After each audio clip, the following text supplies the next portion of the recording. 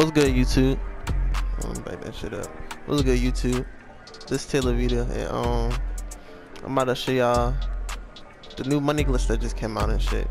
This shit is easy as a bitch to do, and you can make like a million dollars in like 30 minutes, my nigga.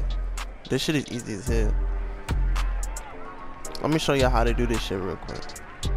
First, you wanna go to the inside track, horse races and shit. You know.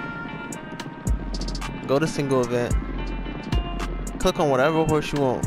Whatever horse you think is about to win. So I, I think Dream Shadow is about to win some shit. Alright, so this glitch only works for PS4 and shit. If you Xbox or PC, this shit won't work for you. You, you can just X out this video right now. But what you want to do? You, you want to use your touchpad and shit. Don't use the um. Don't use the D-pad and shit. That shit don't work. And don't, don't use X. X out the question. If you want to use X, use the um. Click in the touchpad, and you can use that at X. Don't use X.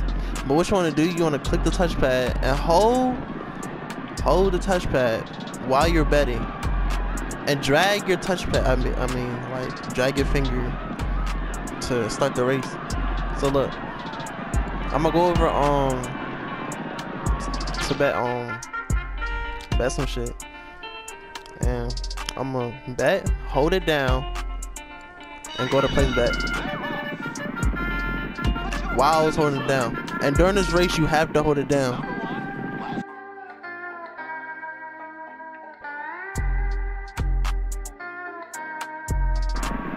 Man, that shit easy like that. Come on now. And see, look, you just got 20k, and you only bet at 200.